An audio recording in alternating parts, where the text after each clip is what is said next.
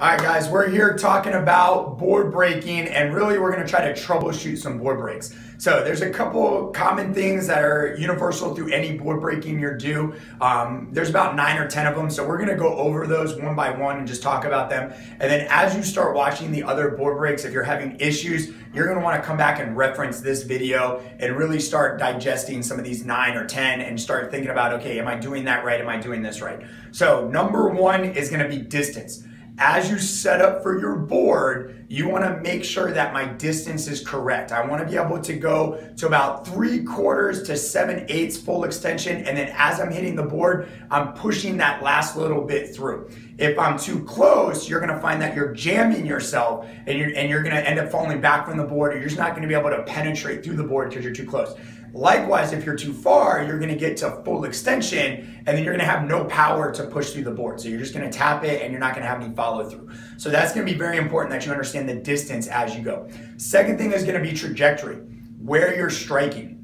Sometimes, like if I'm doing a punch, I wanna make sure my joints are reinforcing joints. If I'm doing a side kick, my knee is reinforcing my ankle, so on and so forth. Sometimes if I'm kicking up like this and my technique needs to go this way, this trajectory is off. It's not going to be able to penetrate through the board. So that's very important that I'm making sure that where I'm striking to is going in the direction I need to to break the board.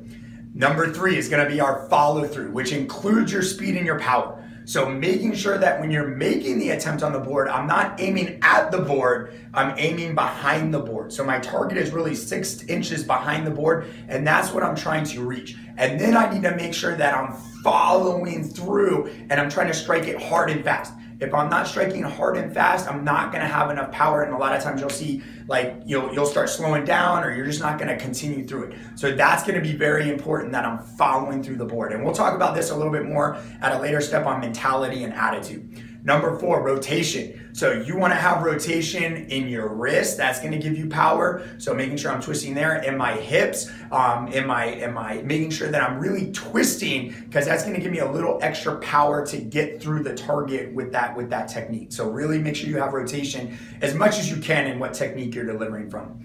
Number five is eye contact. Spot your target most of people aren't ready for a more advanced technique, which is a no look technique or a blindfolded technique, because they don't have the, the, the repetition of the technique. So you need to make sure that my eyes are on the target. The worst thing you can do is start doing a technique and your eyes look to the ground, or you look up, or you look at mom and dad, or you look somewhere else, and you've now taken your eye off the target. You don't know where you're kicking. So a lot of times you're going to be kicking high or you're going to be kicking low, and you're not going to hit on the on the space where you need to hit in order to deliver deliver the most effective technique. So eye contact is number five. Number six, proper technique. Making sure whatever I'm doing, part of proper technique is making sure I'm hitting with the correct spot. So if I'm doing a hammer fist, I'm hitting with my actual tight part right here in my hand. If I'm doing a punch, I'm hitting with my two big knuckles. If I'm doing a knife hand strike here, if I'm doing a front kick, it's the ball of my foot. If I'm doing a side kick, it's the heel of my foot. Trying to get the proper point to hit the target. There's a big difference when you hit improperly and you hit properly as far as transferring your power and really making sure that that technique is delivering to maximum efficiency. So make sure that's well, as well as your chamber kick chambers or making sure your hips are turning, that kind of encompasses those things as well. Number seven, body alignment, which we just talked about that. You know, making sure joints are reinforcing joints. If I'm going to punch and I'm doing this, you're breaking your hand okay? Or if I'm going like this, I'm gonna break my wrist. It's gonna hurt a lot. If I'm going to do a front kick and I don't chamber kick rechamber, I don't have my hip following through, I'm not gonna get that power. So making sure that I have that correct body alignment so that I have the force to reinforce the technique. Number eight, yelling. Okay, yelling, and this kind of goes into number nine, which is your mentality. Yells help you, especially when you're nervous about breaking boards. If you are nervous and you're thinking about oh, this is gonna hurt or this is not gonna feel good or I don't know if I can do this. You're not gonna have power, you're not gonna have speed, you're not gonna have follow through, you're not gonna make the best attempt you can. But when you yell, that takes your mentality away from, oh, this is gonna hurt to, oh, I'm gonna, I'm gonna hit this thing as hard as I can. And I'm not thinking about the pain, I'm thinking about the success. And that's what I need to have. I need to be thinking about the success not the paint. Because the second I start thinking about that, and you can see it all the time, you'll start really fast, and then right before you make impact with the board, you'll pull back or you won't follow through. Okay, so that helps you, and that goes into your mentality. Sometimes you might need to get a little angry. If, if you can get intense all by yourself, that's awesome. Sometimes you might need to have a visualization picture for you. Maybe it's your brother and sister who made you mad. Maybe it's mom or dad who sent you to timeout or they took you, whatever, they grounded you for some reason that was unfair. Maybe it's a teacher who you just can't stand. Whatever it is, get that picture of that mentality of that, of that anger and access that. Because at board breaking, that's what we need. We need that intensity, we need that anger so that we're following through and we're really doing our best.